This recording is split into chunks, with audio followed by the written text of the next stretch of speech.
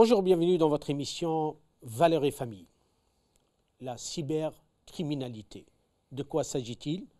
Quels sont les risques? Quelles sont les conséquences Les plus touchés, qui sont-ils? Quelle prévention? Pour répondre à toutes ces questions, j'ai le plaisir de recevoir M. Wajdi Limam, doctorant en sociologie, chercheur et conférencier. Bonjour. Bonjour. Alors, de quoi s'agit-il lorsqu'on parle de la cybercriminalité? Alors, quand on parle de cybercriminalité, tout d'abord, on parle d'un sujet qui est extrêmement large, qui est extrêmement vaste. Ça veut dire qu'aujourd'hui, poser une définition, on va dire, euh, une définition claire de la cybercriminalité, c'est quelque chose qui est difficile a priori. C'est pour ça que ce qu'on peut opposer à ça, apposer à ça, c'est plutôt des définitions d'ordre légal. Qu'est-ce qui se passe dans le monde, euh, dans le monde virtuel qui peut euh, être qui peut mettre la personne qui regarde, la personne qui l'utilise dans l'illégalité. Alors aujourd'hui, il y a un certain nombre de choses euh, qui, euh, qui se traduisent dans le monde réel, qui prennent leur origine dans le monde virtuel et qui nourrissent ce qu'on peut appeler la cybercriminalité. Pardon, peut-être on va simplifier, on parlait de l'Internet. Voilà, clairement. Ça veut dire Ce monde qu'aujourd'hui, virtuel. complètement. Pour la faire Mhm. courte, quand on parle de cybercriminalité, on parle de ce qui se passe à Internet. Sur Internet, Bien, bien que là, il y, y a la criminalité derrière, en fait, c'est ça, en fait, ce qui fait un peu. Confusion, ou ambiguïté, ou difficulté à comprendre. Complètement, c'est ça. Ça veut dire qu'il y a un certain nombre d'actes illégaux qui prennent leur origine Mm. sur Internet. C'est-à-dire qu'aujourd'hui, Ah oui. par exemple, on va nous parler beaucoup de radicalisation. Aujourd'hui, par exemple, une partie euh, des radicalisations se passe dans le monde virtuel. Mm. Aujourd'hui, par exemple, consulter un certain nombre de sites dits djihadistes, mais les, co- les- les consommateurs de ces, ti- de ces sites-là en situation d'illégalité. Donc là, déjà, on est sur le début d'un acte délictueux. Comme on peut parler aussi de la cybercriminalité par rapport à la pornographie, à la, ou bien la, la pédophilie, Complètement. C'est-à-dire que la aujourd'hui- traite des êtres humains. Qu'aujourd'hui, on peut acheter et vendre des êtres humains sur Internet. Tout à fait. C'est-à-dire C'est- qu'aujourd'hui, euh, effectivement, avec euh, ce qu'on appelle le darknet, Ouais. le, euh, le net profond ou le net obscur, ça dépend de la traduction qu'on va choisir. Ouais. Effectivement, il se passe un certain nombre de choses dans le, nar- dans le darknet. Heureusement, ce pas des choses qui sont facilement accessibles pour le profane, mais effectivement, pour quelqu'un qui est en capacité d'utiliser à minima certains logiciels, il peut quasiment tout trouver dans le darknet. C'est-à-dire qu'on peut effectivement y acheter des êtres humains, y acheter des enfants, y, commandi- y commanditer des meurtres ou, des, euh, Ouais, ou autre ouais. chose. On peut aussi se fournir en termes de stupéfiants. On peut acheter euh, des graines ou des stupéfiants particuliers. Ça veut dire qu'effectivement, à travers le Darknet, il y a un véritable monde virtuel de la criminalité Mhm. euh, qui est pour le moment, en tout cas, très peu étudié, très peu observé. Comme Et on peut acheter des armes, qu'on peut acheter tout ce qui peut nuire à la santé de l'être humain. Ça. Je crois que l'hu- l'humanité aujourd'hui, elle est dépassée complètement par, par cet, cet outil quand même, hein, parce que ça reste un outil, hein, Internet, non? Euh, Internet est un outil. Après, de là à dire que l'être humain est dépassé, euh, ça, Enfin, je je sais pas. de l'humanité. hein. Euh, le, le propre de l'humanité, c'est qu'elle s'adapte à chaque fois. Ça veut dire que globalement, à chaque fois, l'humanité est soumise à des défis. Elle a été soumise à des Ouais. défis avec le début euh, de la machine, avec la robotisation, avec euh, l'arme nucléaire. Donc l'humanité est sans cesse soumise à des défis. Après, la Donc on ne peut pas arrêter le progrès. on peut pas arrêter le progrès. En tout cas, pas Mais, comme on- ça. mais quand même, on, on peut le contrôler. On peut le contrôler. On peut contrôler le progrès. On peut mettre du sens, tout simplement. Ouais. Et on peut surtout euh, faire en sorte que, que les personnes qu'on accompagne, ou tout simplement nos enfants, puissent euh, avoir en eux-mêmes les, re- les ressources pour pouvoir se positionner par rapport à ça. Mhm. Ça veut dire que tout à l'heure, quand je vous disais que le Darknet, c'est quelque chose qui n'est pas accessible aux novices, euh, bon, le Darknet, c'est quelque chose de très particulier. Donc là, vraiment, on est au cœur de ce qu'on appelle la, la cybercriminalité. Après, il y a tout un tas de choses qui se passent sur le monde virtuel, sur le net cette fois, qui nous concernent directement. C'est-à-dire que si parmi, euh, parmi nous, la majorité ne compte pas euh, commanditer un assassinat ou acheter un AK-47, euh, la majorité d'entre nous, de ceux qu'on connaît, euh, peut être- peuvent être concernés par des choses très simples. C'est-à-dire qu'aujourd'hui, on se rend compte que parmi les nouvelles conduites à risque sexuel des Ouais. adolescents, il y a la prostitution sur Internet. Ça veut dire qu'aujourd'hui, on commence à Qui est à accessible à tout le monde aujourd'hui, qui est Complètement. gratuite en plus. gratuite complètement. Hein, puisque- Ça veut dire qu'aujourd'hui, il y a un article qui est passé à Marie-Claire il y a trois jours, en fait, où on expliquait de quelle manière, aujourd'hui, la prostitution qui va se passer sur Internet, d'accord, est devenue un des principaux éléments euh, de la délinquance dans les quartiers populaires. C'est-à-dire qu'effectivement, on se rend compte que la question de la drogue, c'est compliqué, le grand banditisme, c'est technique. Par contre, mettre des annonces sur des sites internet et vendre des prestations sexuelles, quasiment tout le monde peut le faire. Mmh. Et ça, c'est problématique. C'est-à-dire qu'aujourd'hui, effectivement, on peut se rendre compte que c'est extrêmement simple pour des jeunes filles ou des jeunes hommes. C'est-à-dire que pour le coup, mmh. euh, ça ne concerne pas que les filles. D'ailleurs, d'ailleurs, les études récentes ont démontré qu'effectivement, en fait, contrairement à ce que nous pensons, le féminin est aussi exposé à ce type de danger. Complètement, c'est ça. Parce qu'en fait, à un certain moment, on dit oui, ça concerne que, que les garçons. Mais non, c'est aussi les filles. Hein. C'est ça, c'est vrai que ça, c'est vrai que c'est les idées reçues qu'on a un peu dès qu'on commence à parler de conduite sexuelle à risque, dès qu'on commence à parler de prostitution, on imagine qu'a priori les principaux consommateurs sont des hommes. En vous, en vous écoutant, là, là, là, vraiment, on est dans un monde où euh, la criminalité, elle est présente, en fait, sous plusieurs formes on, a plusieurs visages, disons, en fait, parce que, parce que là, on parle de, radicalisation, on parle de la pornographie, on parle de la sexualité, on parle de vente des armes, on parle aussi de la drogue. En fait, l'être humain, il, va où exactement aujourd'hui? Alors, encore je ne sais pas où il va. Non, non, c'est important, parce que, non, c'est vrai, parce que lorsqu'on parle, en fait, en vous, écoutant, hein, on se pose une question, mais qu'est-ce qui se passe? On va où exactement? On dirait que le monde virtuel, le monde du business, c'est-à-dire, parce que c'est devenu commerce, il faut bien le dire. le chiffre d'affaires aujourd'hui de la, de la cybercriminalité, c'est des États, hein, ça chiffre.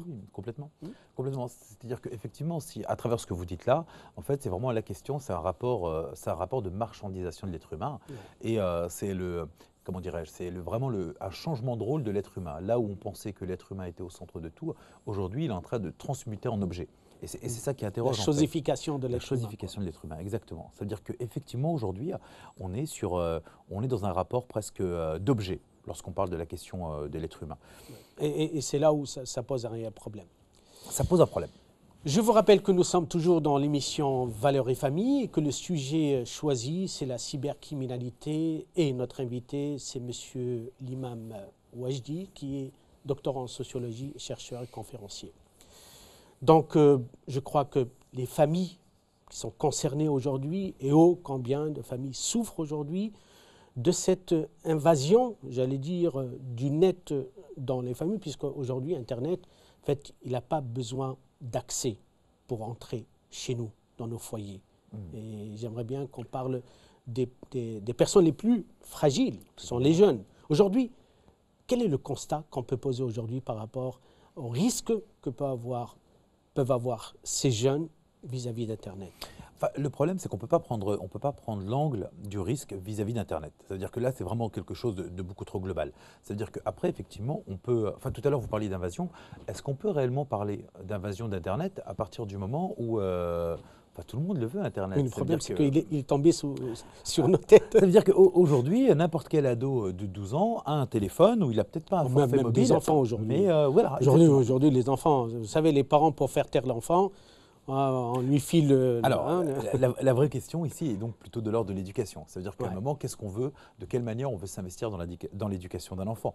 Est-ce qu'on est prêt à prendre du temps, à lui accorder du temps, ou tout simplement euh, faire comme certains parents le faisaient euh, il y a quelques années, de dire voilà, c'est la télé qui va élever mon enfant. Ouais. C'est jamais dit crûment, mais c'est ça la conséquence. Et là, aujourd'hui, il y a tout simplement Internet. Parce que, moi, euh, pardon, moi, je dis, moi, moi j'ai peur que les parents vont se sentir culpabilisés, se dire mais mais aujourd'hui, on est, on est dépassé. Et c'est vrai, on est, on est dépassé parce que l'enfant, il n'est pas uniquement avec, euh, avec ses parents, euh, puisqu'aujourd'hui, Internet, il a envahi hmm.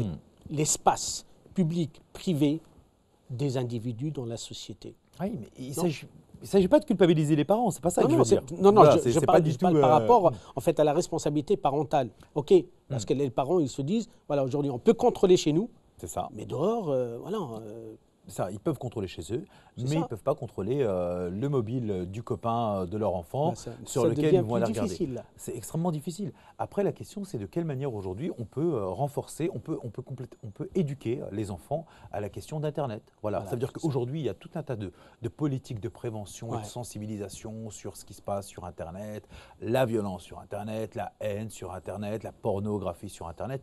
Bon, là, on est sur des missions classiques de l'État qui fait ses actions de sensibilisation mais de manière très concrète. Mais qu'est-ce que, pardon, qu'est-ce que ça, a donné ces politiques jusqu'aujourd'hui Pour l'instant, est-ce qu'on a, est-ce qu'on a vraiment, euh, un état des lieux? Ce Non, pour l'instant, on ne dispose pas de ce genre de choses. En tout cas, pas de manière globale. On peut disposer mm. de choses, par exemple, liées aux conduites sexuelles. On peut euh, disposer d'un certain nombre de choses sur la radicalisation. Mais on ne dispose pas de, de, vue globale par rapport à tout ça, en fait. C'est-à-dire qu'à un moment, la question aussi qu'il faut pouvoir se poser, c'est aujourd'hui, comment on peut permettre aux enfants, un, de parler librement avec leurs parents, en tout cas, ou leur famille au sens large. Parler librement, ça veut juste dire qu'à un moment, il n'y ait pas de non-dit autour de ces questions-là. De quelle manière ils peuvent sentir que la parole est suffisamment libre pour qu'ils puissent s'épancher, s'exprimer, s'interroger et mettre en sens les images qu'ils voient sur Internet? Mhm. Parce qu'à un moment aussi, là, on n'est pas du tout sur la cybercriminalité, mais aujourd'hui, l'influence des productions culturelles sur les pratiques des jeunes, eh, elles sont juste incommensurables. Aujourd'hui, vous prenez un clip de rap, par exemple, euh, mhm. je ne sais pas, on est sur du 300 millions de vues on est sur du 300 millions de vues. C'est-à-dire que d'un point de vue cognitif et d'un point de vue vraiment de, nouvelles représentations qui, émergent à travers mm. ces clips-là, c'est juste incroyable. incroyable.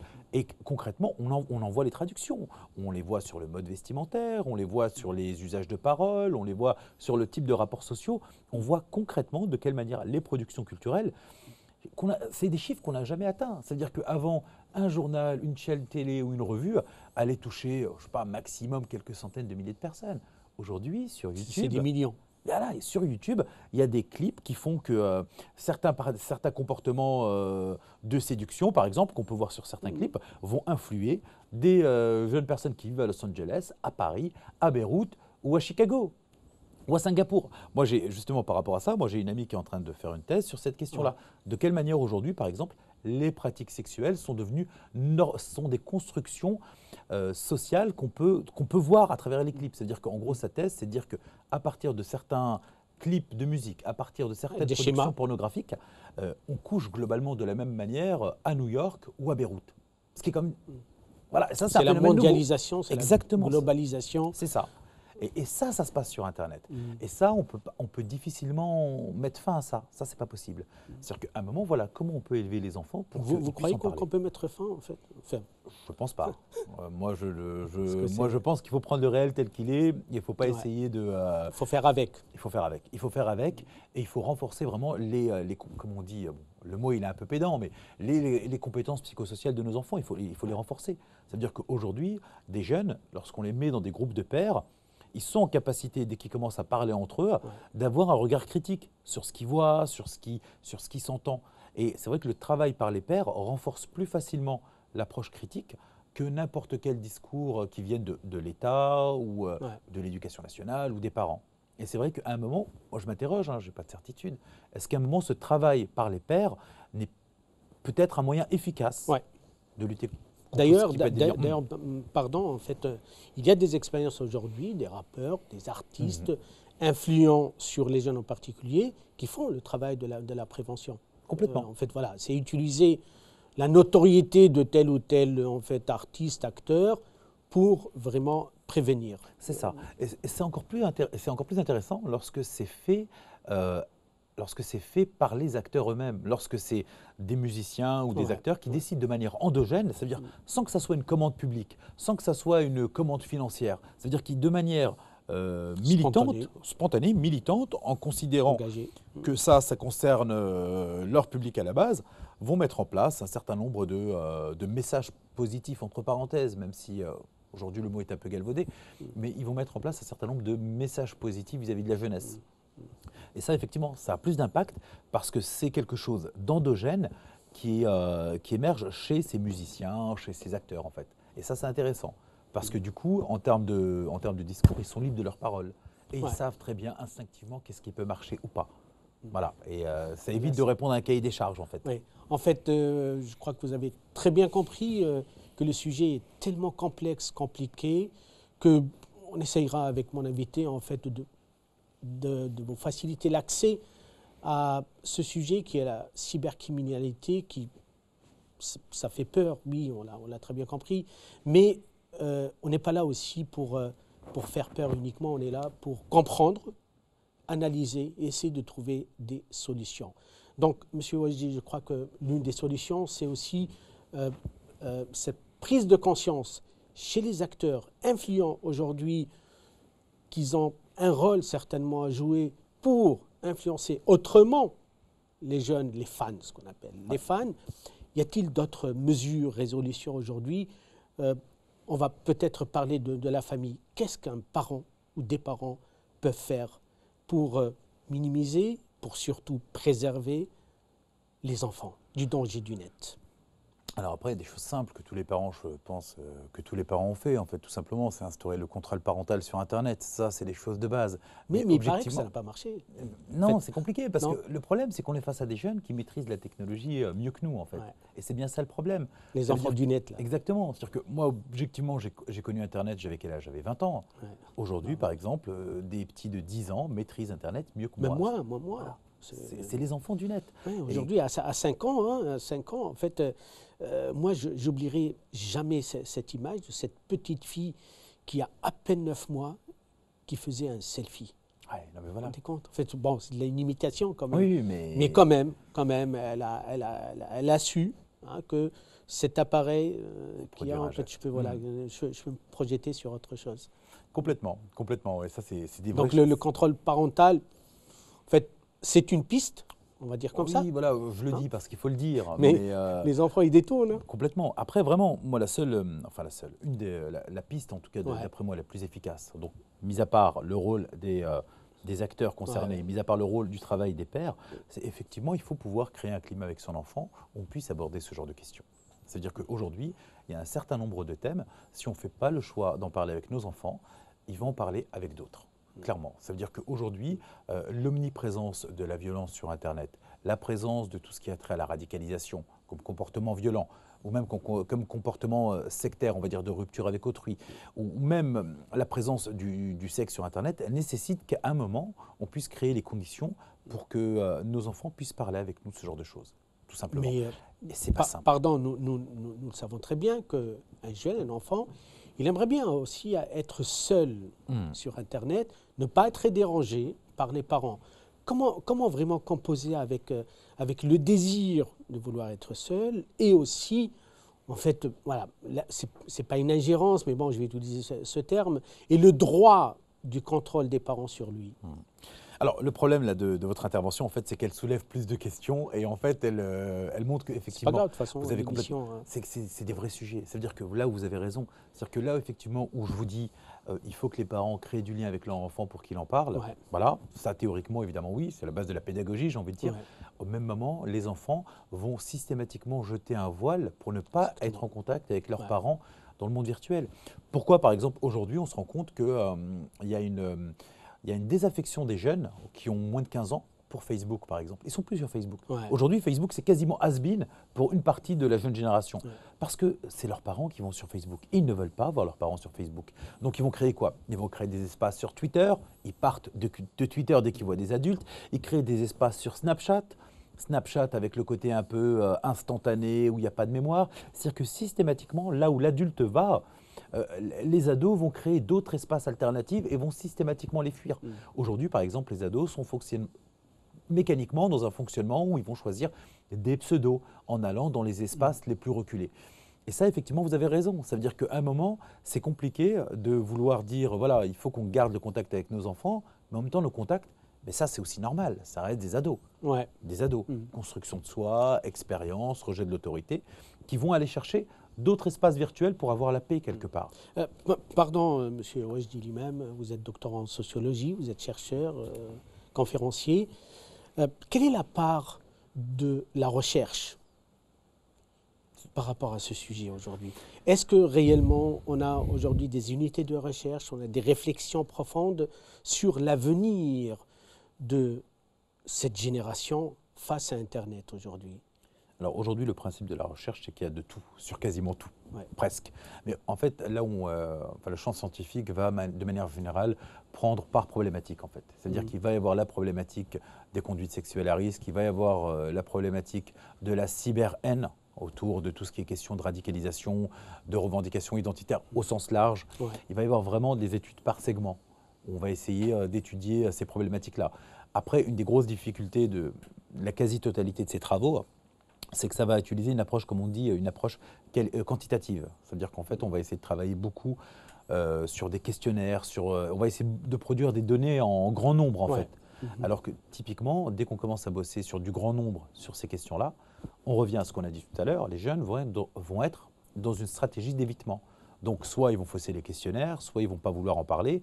Et donc, à un moment, pour appréhender ces questions, je pense qu'il faut privilégier la piste qualitative. Il faut privilégier la, la piste de l'entretien individuel. Mm. Il faut privilégier la piste de l'observation. Il faut privilégier la piste de l'observation des productions culturelles de masse qui aujourd'hui ont beaucoup d'influence. Oui, mais la, question qu'on peut se mm. poser, c'est pourquoi, euh, qu'est-ce qui empêche aujourd'hui un chercheur, une unité de recherche, un centre de recherche d'université, comme aux États-Unis, hein, mm. en fait, ou au Canada, qui sont très centrés sur ces sujets, puisqu'ils ont créé les, observatoires en fait, de la cybercriminalité, mm. d'Internet, des déviances, des comportements à risque, etc.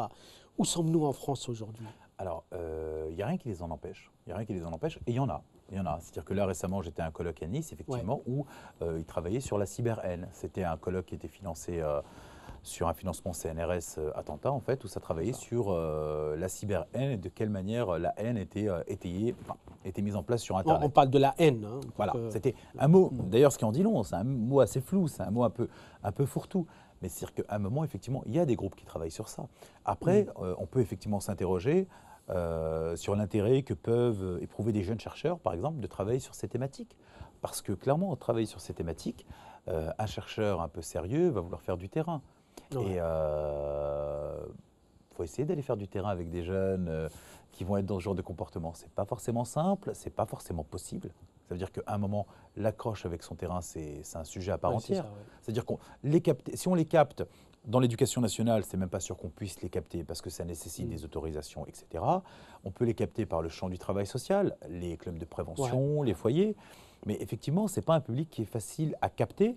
Et dès lors qu'on l'a capté, ce n'est pas un public facile à apprivoiser. Parce que le travail du chercheur aussi, voilà, le travail du chercheur, à c'est de se faire accepter, qu'il fasse comprendre le sens de sa recherche auprès de ces jeunes et que ces jeunes l'acceptent pour ce compagnonnage durant cette recherche-là. C'est-à-dire que voilà, il faut une triangulation euh, en fait, on, féconde. Je, je, suis en train de, de penser à, à, ces parents qui sont désarmés aujourd'hui, démunis, mais je crois que à tout problème, il y a une solution. Il y a des pistes aujourd'hui à explorer afin que nous, les parents, nous puissions euh, protéger, puisque l'une des valeurs de la famille, c'est aussi préserver, protéger nos enfants des risques du net qui sont aujourd'hui nombreux, qui aujourd'hui sont indiscutables. Je crois, monsieur, dis que, euh, avant de clôturer cette émission, si on peut parler aujourd'hui de la responsabilité de chaque individu face à Internet, puisqu'aujourd'hui, nous le savons très bien, les enfants imitent leurs parents. Mmh. Ils voient exactement ce modèle. Et souvent, ce sont les parents eux-mêmes qui sont piégés par Internet. Ah ben, c'est un peu la base. C'est-à-dire qu'à un moment, euh, quel message on peut délivrer à son enfant lorsque nous-mêmes, on passe la journée sur YouTube? Et ça, c'est vraiment le... Parce que c'est les enfants qui voient que leurs parents, ils sont 24 sur 24, on va être sur Facebook, Internet, ça pose un problème. Ah oui, oui, oui, parce que là, on, ne peut pas, euh, on peut pas considérer que c'est permis pour nous, c'est interdit pour toi. Il faut de la cohérence. il faut, de, la, cohérence. Et là, on est, on a, il faut des, euh, là, on est vraiment sur un truc où euh, il faut de la cohérence, c'est ça, tout simplement. Et la cohérence, c'est ce qui est parfois de plus difficile à obtenir. Mais de tous les côtés. oui, oui, je pense. Non, mais ça, ça pose un réel problème, c'est vrai, hein, c'est sérieux. C'est que nous, les parents, en fait, nous-mêmes, nous avons été, nous sommes encore fascinés par ce milieu, cet univers virtuel mhm. euh, et qui aujourd'hui nous sépare, nous éloigne de nos enfants. Hein, ce n'est pas pour mhm. vraiment, encore une fois, culpabiliser les parents, mais juste pour poser les vraies questions, pour avoir les vraies réponses. Mhm. Un dernier mot un dernier mot, oh, vous savez, là, un dernier mot, c'est toujours délicat. Le sujet, on l'a effleuré. Ah bah, là, en fait, hein. vous avez soulevé plus de questions pour moi qu'autre chose. Donc, euh, ça, fait partie aussi ah bah de cette émission, c'est qu'on aimerait bien faire réfléchir hmm. sur des questions. Hein, parce qu'on ne on fait pas de l'assistanat. Ah oui, je non, crois que c'est important. Hmm. Non, voilà, donc je passe le dernier mot. Le dernier mot, c'est il faut y penser, il faut y réfléchir en tout cas. Hmm. Voilà. Merci, Samy. Voilà, c'était euh, votre émission euh, Valeurs et famille. Le sujet qu'on vous a choisi, c'était la cybercriminalité. Merci à mon invité, Monsieur Wajdi Limam, doctorant en sociologie, chercheur et conférencier. Merci à vous tous et à la prochaine fois.